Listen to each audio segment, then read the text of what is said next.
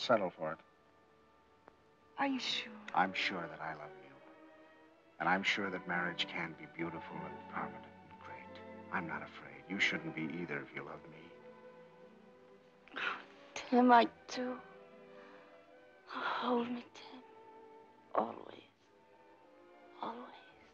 Our candidate for the future Mrs. Timberlane has been overruled. All of a sudden, Cass becomes Casanova. She's a stenographer, even something worse. Uh, Where does she come from? Does she speak English? Poor Cass.